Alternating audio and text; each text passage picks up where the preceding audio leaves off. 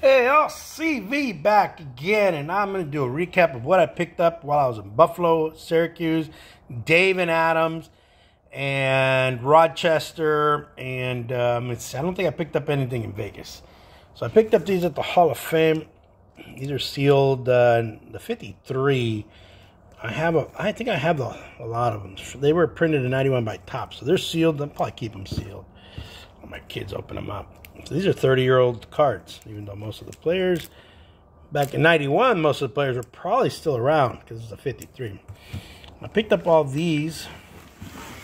These are the update. I haven't found update anywhere in the store, so I picked up about eight packs. One, two, three, four, five, six, seven, eight. So I picked up a bunch of packs. These aren't fat packs, they're just. These I got in Buffalo, I know, actually, I got these in, at Cooperstown, in Cooperstown, New York. Uh, my son opened one up. I think I already did a video on them. I'll just go quickly through it. New Brock, bunch of rookies. No rookies that really stand out. Spencer Turnbull, Ryan McKenna, Corey, Christian Yelich. yeah, a couple guys. We'll go through these on my own and separate them all out. And then when I was in Buffalo,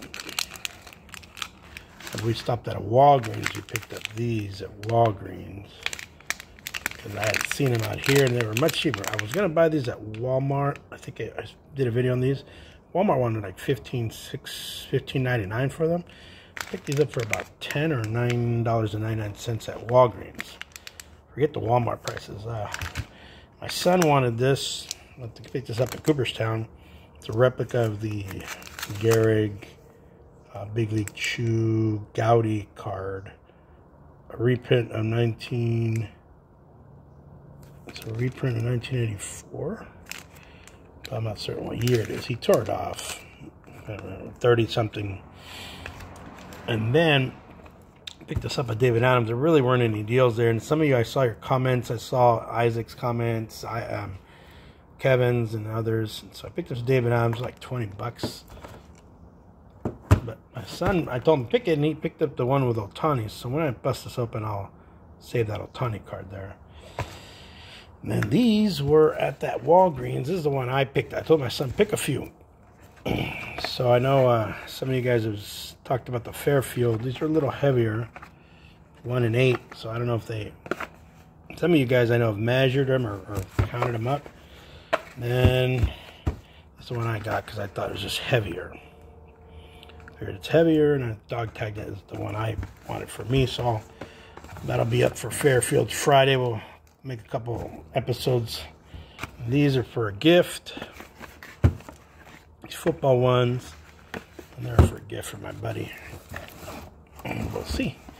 All right, guys. So there's what I picked up. Those are my travel pickups as I drove around. Flew them cross country, believe it or not. Of this was in Buffalo or in Cooperstown or in Dave and Adams. They're in Amherst, New York. Just near that area of Rochester. No, no, no. Between Syracuse and Buffalo or Rochester. I don't know, even certain. Cooperstown and Walgreens. All right, guys. Thank you for watching. CV is back. Thank you.